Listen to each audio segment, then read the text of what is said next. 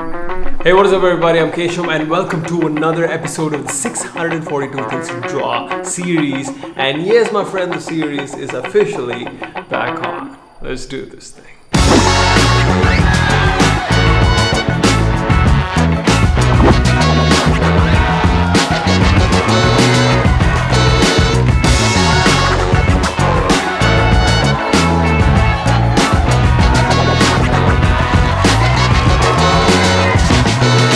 Did I put this thing right here? This is a marker for me to turn to the right page and I didn't use it. Damn it.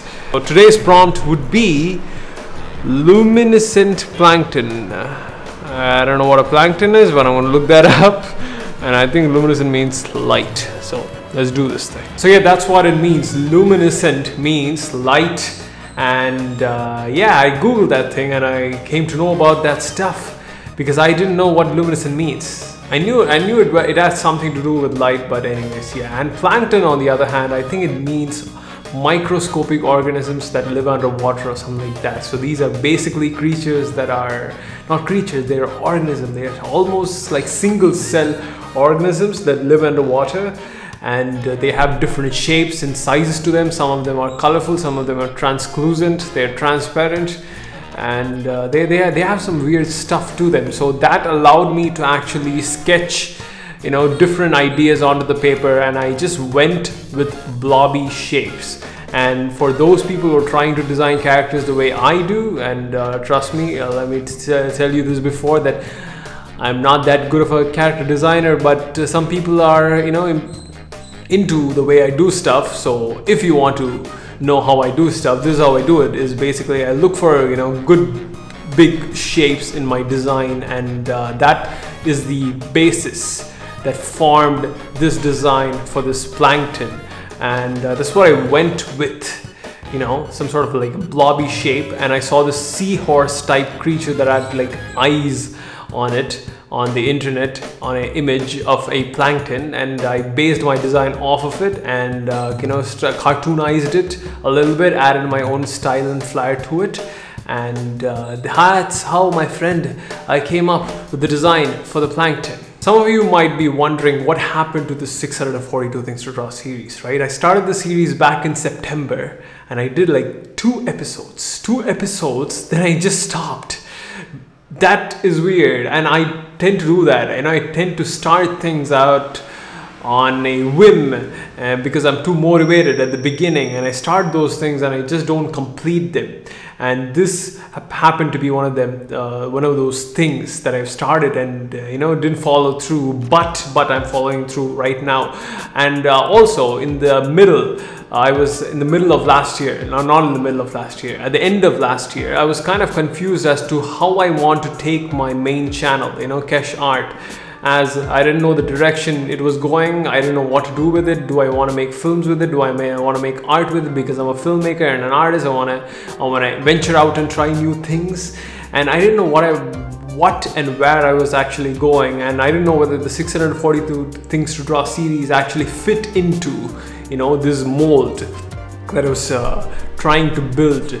And uh, what I did was I took the whole series and took it uh, into my second channel which right now is uh, modified into Kesh Films which is like my film channel.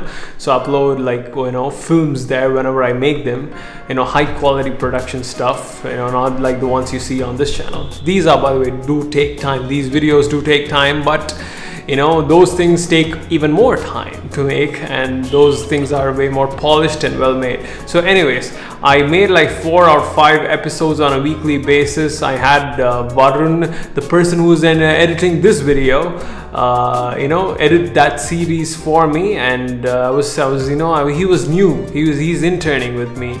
And uh, he is like learning editing. He's learning the art of making YouTube videos which is like a completely different game than like normal editing so he was learning so i gave him the second channel as like a practice ground for him to you know like uh, get better at his craft. So i tried it over there it wasn't going well it didn't fit well with me. Then i i, fi- I finally realized that the problem was with myself with me that i need to just pick some damn thing and just go with it instead of trying to find the right thing. That has always been the problem with me to try to find the right quote unquote right thing. And i try these so many things. And uh, never not even a single one of them sits well with me. Because I, I just keep looking for the right stuff. And i've realized lately that there is no such thing as you know like the quote unquote right stuff. You just pick something and make it right that's what happened with the series that's why this I, stopped this thing i was like pondering on it i was thinking about it right now i shot like a, one or two episodes of this thing so like a couple of drawings are in the bank and uh, i didn't want to actually edit this whole series because uh, i just want to shoot and direct it and have varun the intern you know he's gonna be like brad the editor on PewDiePie's channel. You know, people like will call him Varun the intern or something like that. I don't know. we'll make it a thing. So yeah, he's editing this whole series, and I'm just directing and shooting it, and I'm drawing it, of course. And uh, so that will uh, allow me some time to actually work on other stuff, work on making my weekly videos better, work on uh, my other projects that I have and that I need to accomplish this year. So like I have a couple of things going on and uh, I've also realized that uh, being consistent is one of the most important things you know for an artist. End of section 2 okay? Of section 3 I feel all artists have some sort of this problem this problem with constantly wanting to be high on the emotional scale meaning they always want to be excited about their drawings and art projects and stuff and they always want to be so motivated about their things. Uh, they, in the sense, I'm just talking about myself. I'm sure a lot of people are like me, and that's why they're artists. You know, artists always constantly look for new things and that is one of the reasons that makes them you know an artist and i always constantly look for things but the problem with constantly looking for things and not settling down with one is that you never get to finish anything and the world need the world needs people who can finish stuff. And if you if you start a project you need to finish them. And that's how you learn. That's how you experience the process of actually starting something and finishing them. Because it gives you some sort of an experience or a wisdom that'll allow you to grow you know as a better artist or a better person. And that's what i actually feel.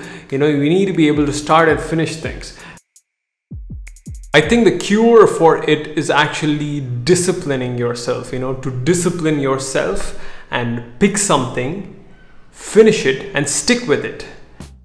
So the series, you know, the 642 Things to series is finally back because I want to actually put in more volume in terms of my drawing. I want to make more illustration pieces.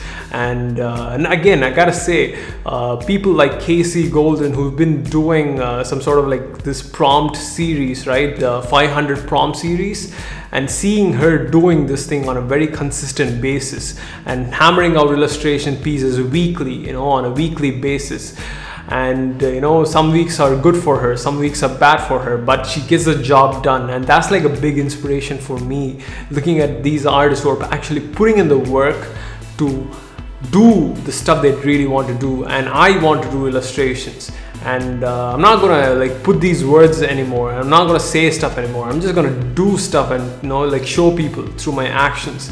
So that's why I'm bringing the series back. And also this is not hard on me because I don't have to edit it, and that was another reason. And for some weird reason, I am one of those guys who can't work long hours, or I can I can work long hours, but not for a very long period of time, like maybe two or three days. I can put in put in a lot of time, but I eventually get burnt out.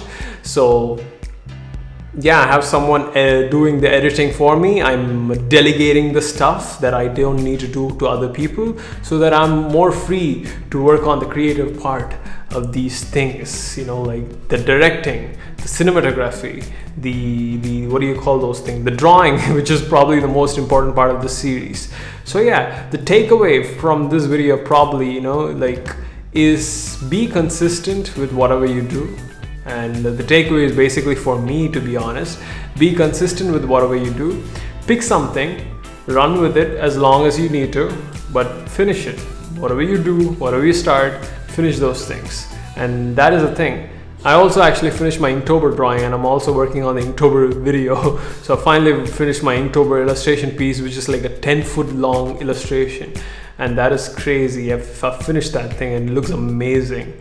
And uh, it shows me, you know, it personally shows me that you just need to start things stick with them, make progress on a daily basis or as much as you can on a consistent basis, and eventually things turn out well. And there will be highs and there will be lows, and you just got to go through those things, uh, regardless of you know how you feel. Yeah, that is pretty much it for this episode of 642 Things to Draw.